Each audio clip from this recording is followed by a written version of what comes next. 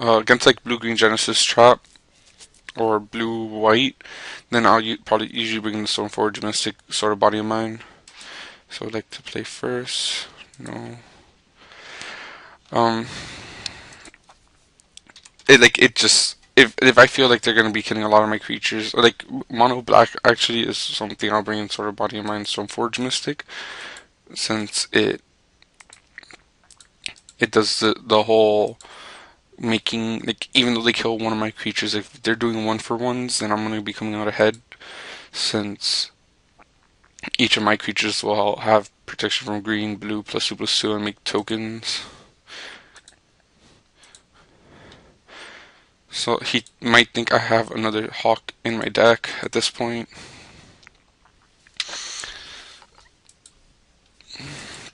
Let's see.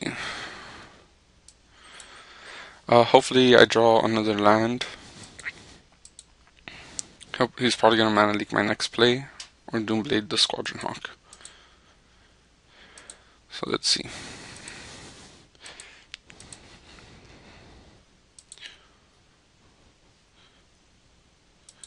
Uh, I'm gonna play the Nest Invader, just cause like he might he'll probably mana leak, and I can just play two birds next turn. I could have played another bird this turn and not worried so much. But then next turn, like if he didn't have the mana leak, uh, I'm gonna discard the Elspeth. I can't play Elspeth next turn and the birds are going to be really important. Let's see. Declare attackers. I can't play Elspeth anyway until Creeping Tar Pit is gone. Well, I can't play her safely.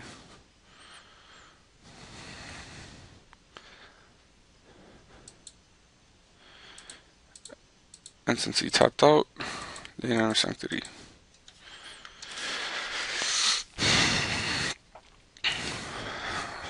Tectonic Edge would be really sweet. Yeah, I definitely want to get in four Tectonic Edges. It's pretty much like one of the only ways I can beat a Creeping Tar Pit.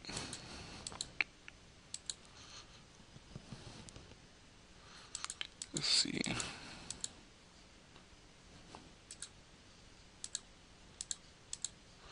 Do, do, do. Uh, there's another reason for playing Nest Invader there would be that if I draw the one Ajani I do have, then like it the the spawn becomes a little better. I can play Elspeth next turn if he like if I don't think he has counter mana open. And if he tries if he wants to block with Creeping Tar Pit then then I come out ahead on that. He'll probably kill it but if he does, then I have to, I really have to consider. Uh,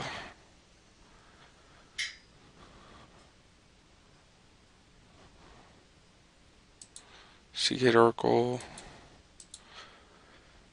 Hmm. Probably has this figure. The, the the fact well he can he can still block an Nest Invader forever with just with just Sea Gate Oracle.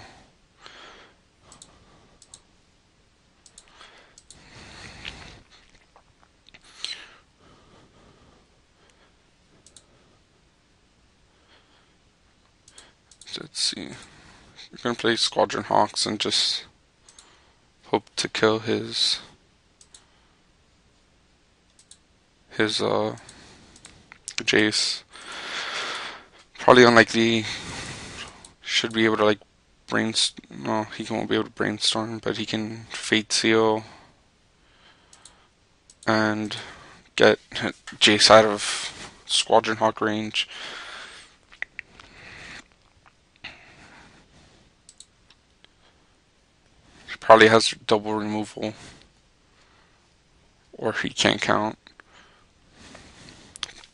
I might also just have this another Jace in his hand. Uh, I've been in blue black control before. Just Leon Spectre is actually pretty good apparently. Not like Lane Sanctity actually stops it. Uh, do, do, do. Preordain, I suppose.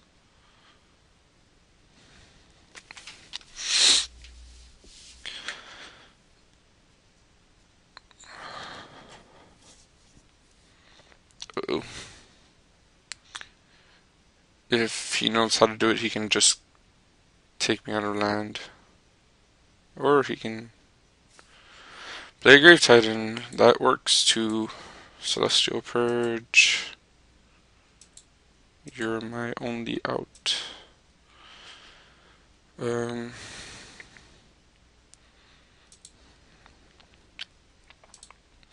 Jace, Jace, Jace.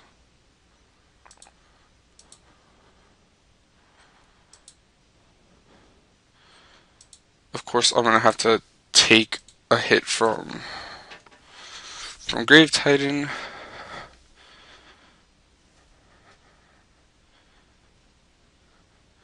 Then, like the turn after, he'll have six creatures to attack with, and I'll have five blockers. Well, that's pretty crummy.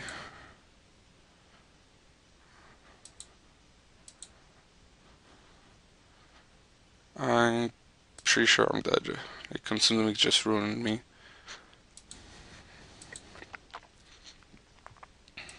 And he has mana leak, so I'm just dead. Good build. Grave. I've been promoting Grave Titan for a long time. Like he's really strong, and there's nothing I can get out of this that would save me. At least I'm drawing.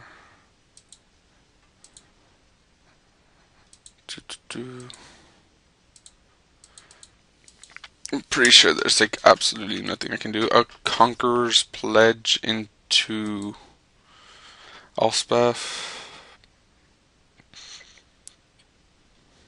Like, so I'm going to take 10.